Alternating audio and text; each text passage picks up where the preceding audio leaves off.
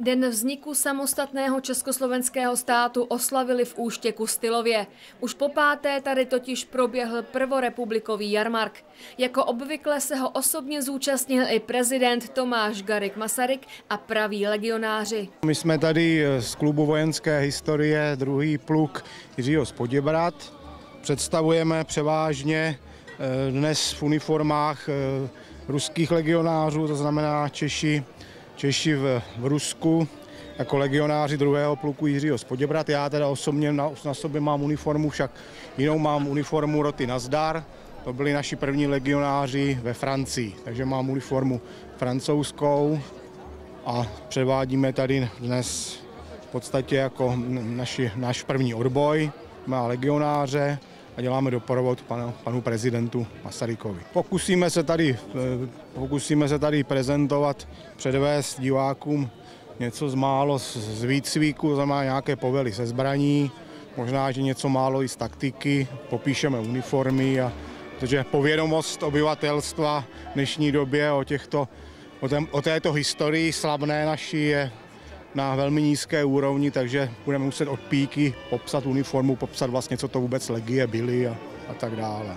Prvorepublikový úštěcký jarmark ovšem návštěvníkům nabídl i program mnohem odlehčenější. Připravena byla pohádková představení pro děti, řemeslné dílničky, střelnice, módní přehlídka, ukázka historických automobilů a mnoho pouličních muzikantů.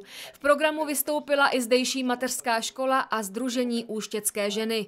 Letošní novinkou byl dobový fotografický ateliér na faře. Lidé se tu mohli na památku zvětšnit v historických kostýmech kostýmech a zdobovými předměty. Pochopitelně nechyběli ani řemeslníci, kterých letos přijel rekordní počet. Dneska je tady přes 200 řemeslníků z Čech, Moravy a Slovenska, což je plný rekord. Opravdu už se ani víc řemeslníků sem nevejde a doufám, že si každý návštěvník vybere to své od nožířů, keramiků, dráteníky, že opravdu je tady nepřebrané množství těch nejlepších řemeslníků, které známe. Událostmi nabitý program trval od rána až do pozdního odpoledne. Jarmark ukončil až samotný prezident, když se svou družinou odjel na zámek Dolán.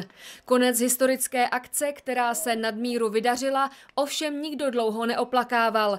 Všichni už se totiž těší na Vánoce a s nimi spojenou zábavu. My si připravujeme na Vánoce, eh, jsme domluveni zase s Anděli, že přiletí 13. prosince do Úštěka, a to dokonce třikrát v 11, v 17 a ještě pak 15 hodin, co má to bude na konci. A to je akce, která se jmenuje Účecký advent a nepsat andělů. Na to se moc těšíme a e, jsme strašně všechny návštěvníky.